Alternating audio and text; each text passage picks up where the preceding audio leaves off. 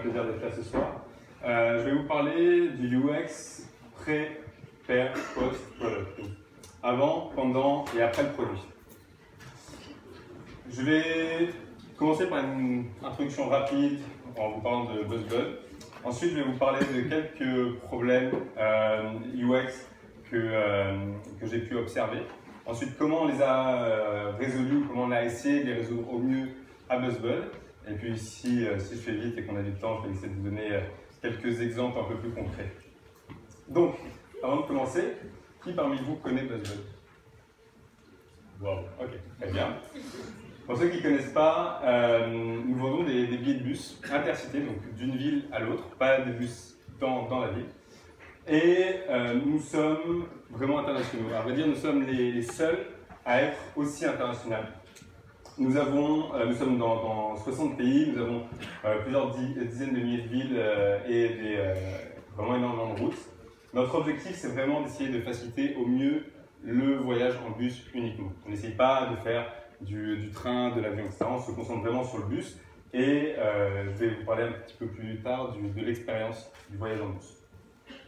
Rapidement sur notre produit, un flow assez simple finalement. Vous faites une recherche, vous voyez les résultats, vous bookez. Euh, notre site est disponible dans 17 langues, euh, 23 currencies. Donc quand je vous dis qu'on est vraiment international, on est, vraiment allé jusqu'au bout. On a, même du chinois alors qu'on n'a pas de route en Chine. Pour, la France, ça peut aider. Euh, côté euh, application mobile, plus ou moins la même chose. On a quelques écrans supplémentaires pour, donner un peu plus de détails. Donc voici grosso modo ce à quoi notre produit ressemble. L'écosystème dans lequel nous nous plaçons est, particulier. Donc.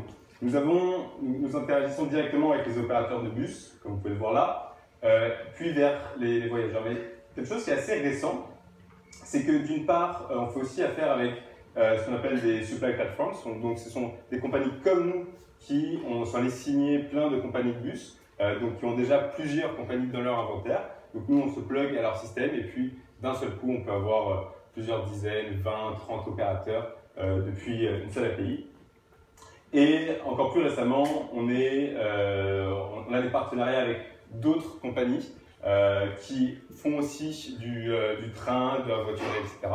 Euh, pour ceux qui connaissent en France, par exemple, il y a Voyage SNCF qui va utiliser, c'est nous qui allons donner tout l'inventaire de bus à Voyage SNCF en France. C'est vraiment un, acteur majeur euh, en Europe.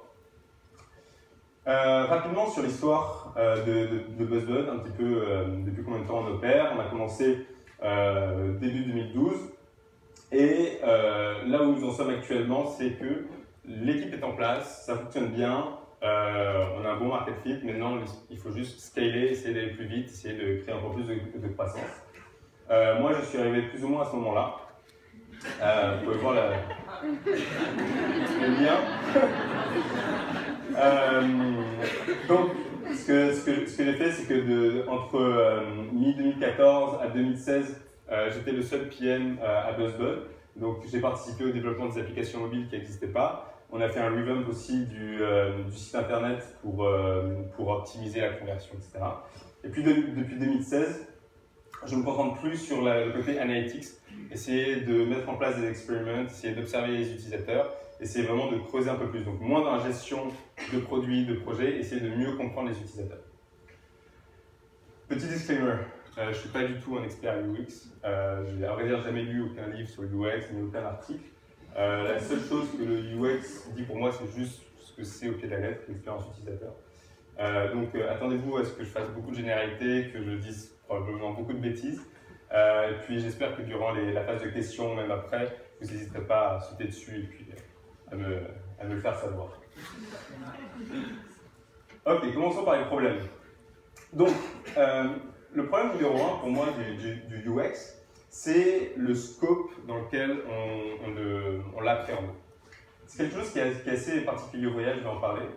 Et l'une des choses qui m'embête un petit peu, c'est que quand j'ai regardé ce que c'était le UX sur Wikipédia, parce fallait bien que je prépare un peu quand même euh, la présentation, euh, ils disent que euh, le UX, c'est l'utilisation d'un produit, d'un système ou d'un service. Et moi, je suis un petit peu en, désaccord avec ça, je vais en, parler dans, quelques instants. Euh, donc, généralement, de, la généralité que je fais sur le UX, quand on parle de UX, on parle souvent d'un produit. Quelle est l'expérience utilisateur sur un produit, que ce soit web, mobile ou autre euh, parfois, on va un peu plus loin, on dit ok, on va essayer de penser euh, au cycle de vie de l'utilisateur, quand est-ce qu'il va revenir, essayer de faciliter ça. On peut parler de UX dans les campagnes d'email, dans les euh, différentes notifications, bref, retargeting, etc. Mais ce dont on parle assez peu finalement, selon moi, c'est ce qui se passe avant, donc côté acquisition. un exemple assez rapide, c'est que par exemple sur, sur BuzzBud, on a des, sur, pour une route donnée, les prix peuvent varier.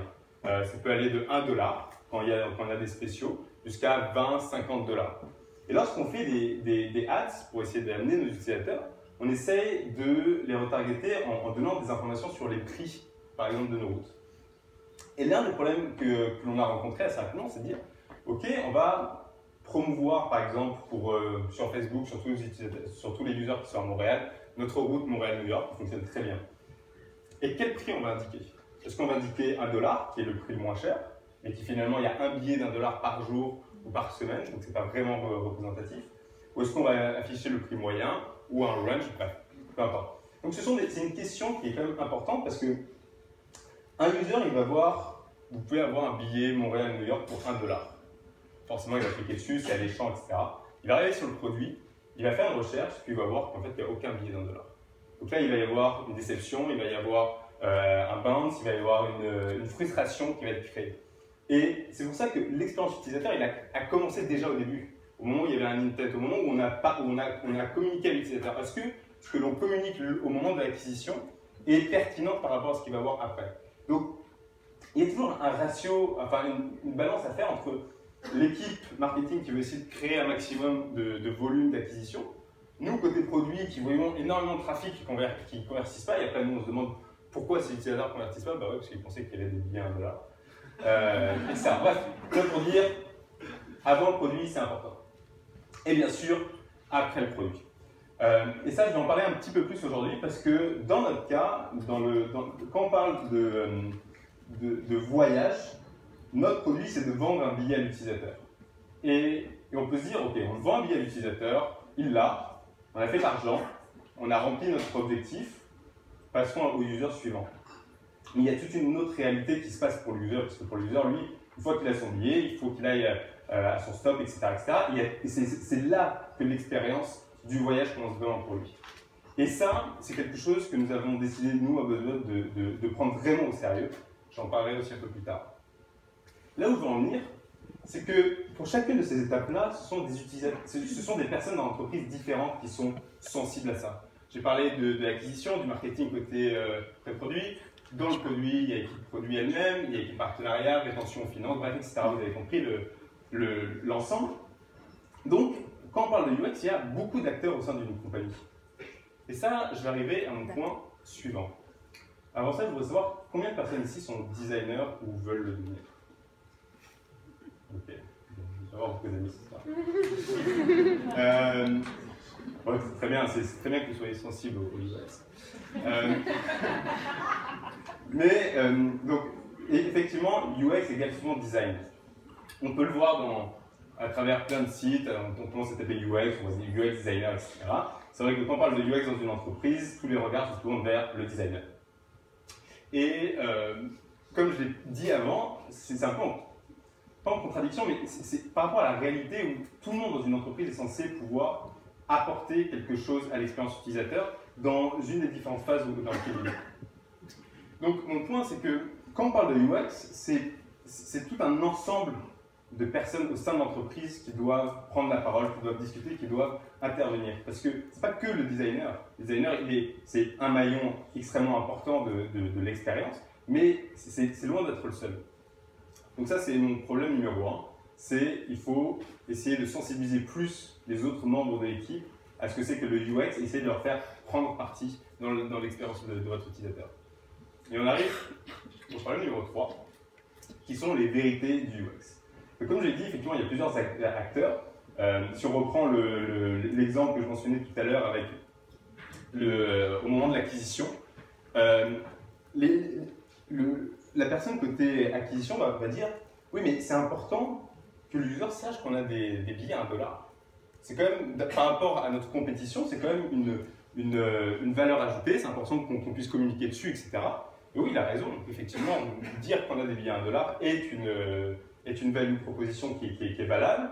Lui, côté acquisition, c'est intéressant aussi. Nous, côté produit, on peut dire oui, mais bon, conversion, blablabla, donc je vais communiquer tout ça. On a aussi d'autres problèmes côté support. Donc on a, on a, des équipes support qui reçoivent des appels téléphoniques des, euh, de, nos utilisateurs euh, tout au long de la journée avec des, euh, des complaints. Donc c'est peut-être un utilisateur sur les, sur les centaines de milliers qu'on peut avoir, mais vous dire oui, j'ai eu tel utilisateur qui a eu un problème sur le site, il faut rajouter ça, il faut fixer ça. Et cette personne a raison, il y a quelqu'un qui a eu un problème, et nous on ne va pas construire tout un site internet pour une ou deux personnes. Donc bref, ce sont, des, sont des réalités, ce sont des vérités qui s'entrechoquent à chaque fois. Et comment on, comment on fait une trade-off? Quel choix on fait? Comment on fait des priorisations entre les différentes choses Donc on va parler un petit peu de priorisation. 10 minutes. Très bien, je vais accélérer. Euh, donc, étape numéro 1, essayer euh, d'avoir une vraie vision, essayer de mettre en place des commandements, essayer d'essayer de, de, rationaliser le plus en amont pour qu'au moment où on prend la décision, il y ait quelque chose de concret sur lequel on puisse s'appuyer pour pouvoir trancher rapidement. Donc, tous ces gens-là parlent, font des commentaires, et tout ça, on essaye de le mettre dans un seul silo. C'est important que euh, ce soit une personne, un groupe de personnes qui prennent les décisions pour, pour trancher. Euh, la, démocratie euh, dans une entreprise côté UX, ça ne marche pas, de mon point de vue. il faut ce qu'un ami appelle une dictature éclairée. Il faut prendre des décisions rapidement, il faut dire pourquoi on les trucs, mais il faut que ça avance, surtout qu'on est dans un milieu startup. Donc, tout doit passer par un endroit et procéder à la priorisation. Donc, qu'est-ce que nous avons fait à BuzzBud pour résoudre ces différents cas-là? Donc, on a parlé du, scope. Ça, c'est ce que vous voyez à BuzzBud quand vous rentrez dans nos bureaux. D'accord? Ça, ça existe depuis bien avant que je sois rentré. Euh, et c'est l'une des premières choses que l'on vous montre quand vous venez passer un entretien à BuzzBud, quand vous voulez visiter. Je vais zoomer, vous ne fatiguez pas trop les yeux. Euh, donc, ça commence avec le, flow d'un utilisateur. Donc, comme j'ai dit, un utilisateur, il a sa tasse de café, il est en train de se dire, tiens, où est-ce que je vais pouvoir aller? En rouge, c'est là où nous, BuzzBud, on pense pouvoir interagir, pouvoir être présent à un moment donné. Donc, choisir une destination. Ensuite, choisir un mode de transport. Trouver la source d'information qui va nous permettre de pouvoir utiliser ce mode de transport-là. Trouver le bon billet de bus. Pouvoir l'acheter. Ensuite, pouvoir le récupérer en main propre. Préparer son voyage. Se rendre au point d'embarquement. attendre dans le bus. Monter dans le bus. Voyager en bus. Arriver à destination. Bref, tout ça pour vous dire que nous, on a, depuis le début de l'entreprise, on a envisagé notre application dans cette industrie-là comme étant quelque chose qui allait commencer depuis l'intent jusqu'à la fin. Pas juste vendre un billet de bus. Et ça, ça fait partie de l'ADN de, notre entreprise, et c'est comme ça que nous envisageons le scope de l'expérience BuzzBug. En rouge, c'est ce sur quoi nous travaillons actuellement.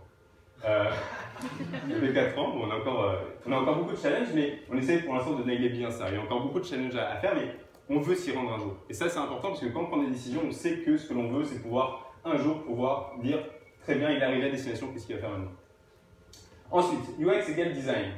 Comme j'ai dit, c'est important de pouvoir tout rassembler. Et nous, nous avons fait le choix que où ça allait être l'équipe produit qui allait prendre les décisions côté UX. Ça peut être d'autres équipes, ça peut dépendre du, de l'industrie dans laquelle vous vous trouvez. Nous, on a dit, c'est l'équipe produit qui va trancher qui va discuter avec les stakeholders et qui, qui va dire, voilà, basé sur nos valeurs, voici la décision que l'on va prendre. Donc on passe à ça, aux valeurs.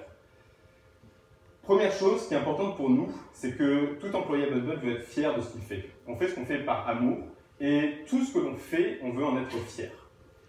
Deuxième point, un utilisateur qui est paumé au milieu de nulle part à 3h du matin dans un pays dans lequel il ne parle pas la langue et il ne trouve pas son, son, son, son stop, est plus important pour nous que 100 000 utilisateurs qui arrivent, qui sont bloqués sur une interface web.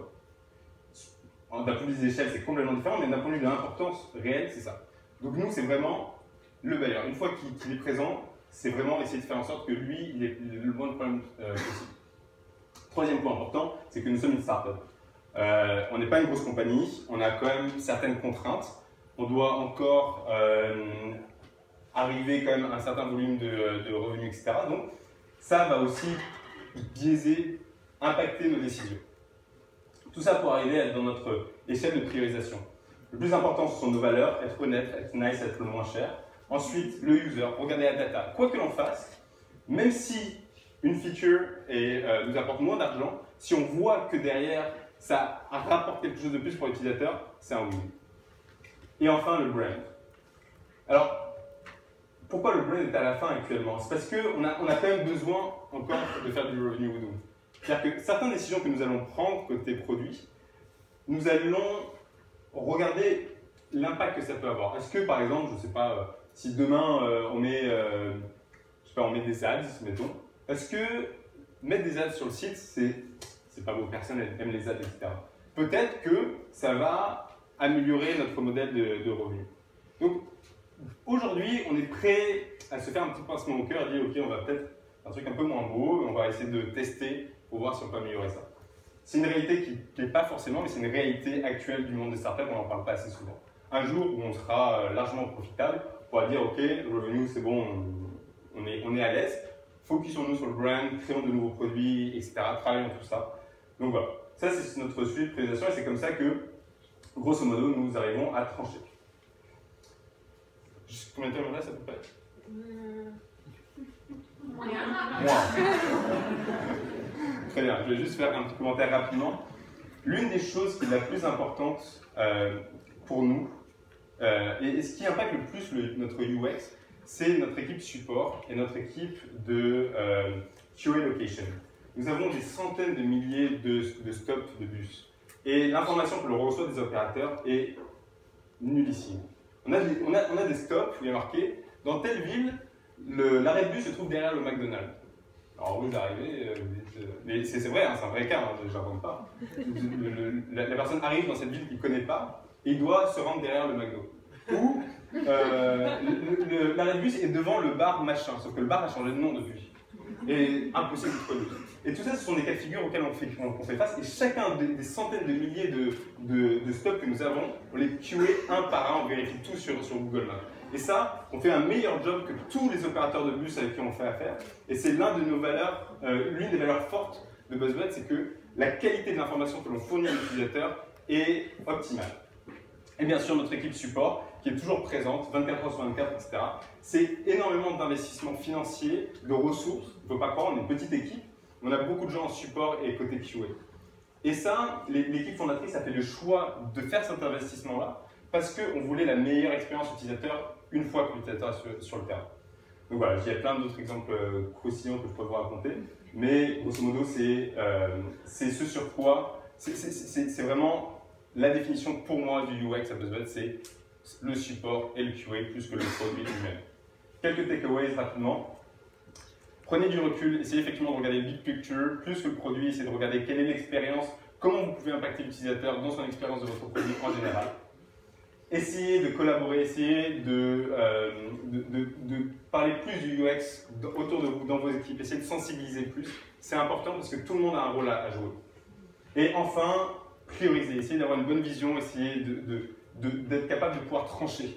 Euh, on ne peut pas tout faire. Il y a, il y a, des trade-offs à faire, il y a des gens qui ne vont pas être contents, mais il faut pouvoir prioriser et avoir une vision claire dès le début facilite énormément le, le reste du process. Je vous remercie.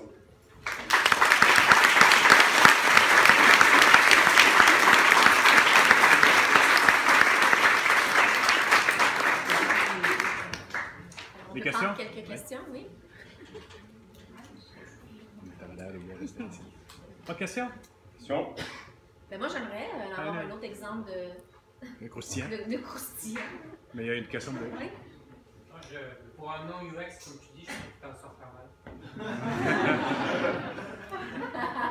Alors, un autre truc croustillant? Alors, un autre truc croustillant. L'une des histoires qui nous est arrivée euh, récemment, justement, à notre équipe support, c'était une dame, donc c'était euh, après le Brexit, qui nous appelle parce qu'elle euh, veut voyager, donc elle veut faire un Paris-Londres. Euh, et elle nous appelle parce qu'elle est extrêmement embêtée, parce qu'elle veut voyager avec son lapin. Et elle nous dit que son lapin a un passeport européen. Et elle veut savoir si ça marche ou pas. Alors, bon. Bien évidemment, quand vous assistez à ce genre de, choses et que la personne est extrêmement sérieuse, c'est assez difficile de pouvoir réagir. Un autre, exemple, euh, un, un autre exemple qui est moins marrant, mais qui, est quand même euh, intéressant. Il y avait une vieille dame qui, pareil, voulait euh, acheter son billet sur BuzzBuzz. Et pour certains de nos opérateurs, on a besoin d'imprimer le billet. Sauf que cette personne, cette vieille femme, n'avait pas d'imprimante, elle n'était pas très tech savvy et ne savait pas trop quoi faire. Donc, notre équipe euh, l'a assisté pendant presque une demi-journée euh, pour lui dire quelle était la bibliothèque la plus proche de chez elle. Euh, elle nous a rappelé une fois la bibliothèque, elle s'est retrouvée devant l'ordinateur, elle ne savait pas où cliquer sur l'icône, enfin bref, ça a pris, un temps fou. Euh, mais cette, vieille dame a eu son billet, et ça, ça c'est quand même un- une, belle histoire. Quoi d'autre? Pareil, en, Floride, quelqu'un qui nous appelle, qui nous dit Je comprends pas, j'étais à mon arrêt de bus, et le bus vient de passer devant moi, qu'est-ce que je fais? Le, le prochain est demain, je- il, est, il est minuit, je crois, et je crois qu'il est minuit, qu'est-ce que je fais, etc. Euh, et en fait, la seule raison pour laquelle il a raté son billet de bus, c'est parce que l'opérateur, donc le nez, a déplacé le stop de 50 mètres. Et, et- et ils, nous, ils nous ont pas prévenus. Euh, bref, en tout cas, le, euh, le bus est passé, il a vu qu'il n'y avait personne au stop, et puis il a continué. Donc notre équipe support s'est dit, bon, il faut absolument qu'on trouve une solution pour cette personne-là. Elle a appelé la compagnie, elle est tombée sur la répondeur, on a réussi à trouver un numéro, bref, de quelqu'un dans la compagnie, qui nous a donné le numéro de téléphone portable du chauffeur. Le chauffeur a, a répondu pendant qu'il conduisait, on lui a dit, vous avez oublié un client derrière vous, etc. Il a, ça fait déjà une demi-heure qu'il avait roulé. Bref, il a fait demi-tour, etc. pour aller la chercher. Bref, c'était- assez épique. Mais ce sont de belles histoires. Euh, un, autre, exemple, et je vais terminer sur ça, puis s'il y a d'autres questions après, on- je les prendrai. Euh, pareil, c'était à la gare d'autocar de, Montréal, donc vraiment juste à côté. Et pareil, à un moment donné, euh, était, était, euh, 11h au mini, euh, et puis euh, euh, Greyhound avait un problème avec, avec ses bus, il ne pouvait pas prendre euh, plus de monde. Et puis il y avait une, femme avec sa famille qui était enceinte, qui avait euh, un, petit, un petit bébé en plus dans, dans les bras, qui nous appelle en disant écoutez, ça fait. euh, on devait partir à 11h, il est 3h du matin. Euh, ça fait 4 heures qu'on nous dit qu'on enfin, qu'on nous donne pas vraiment d'informations, on ne sait pas quoi faire. Euh, on n'est pas d'ici, on n'a nulle part où aller, où aller. Le prochain départ est à 8h du matin. Euh, moi, je ne peux pas rester dans ces conditions la de Côte d'Armor. Qu'est-ce que je peux faire Euh, Eh bien, nous leur avons payé un billet d'avion. On n'était pas obligé de le faire, ce pas notre faute. Euh, mais on l'a fait. Parce que parce qu'on on- on reste sensible par rapport à ça. On n'a pas les moyens, on ne peut, pas- peut pas payer des billets d'avion à tout le monde, à tous les utilisateurs qui sont, euh, qui sont insatisfaits. Mais, surtout que c'est pas vraiment la même industrie, enfin bref. Mais, mais gro- grosso modo, ce, ce sont des, des partis pris que, que l'on fait, ce sont des sacrifices, il faut, il faut, faut l'assumer aussi. Euh, mais voilà, c'est ça, c'est l'expérience utilisateur, elle se trouve dans ces petits détails-là. Euh, et voilà, c'est un peu, le, un peu la, sensibilité que vous faire partager ce soir. Merci.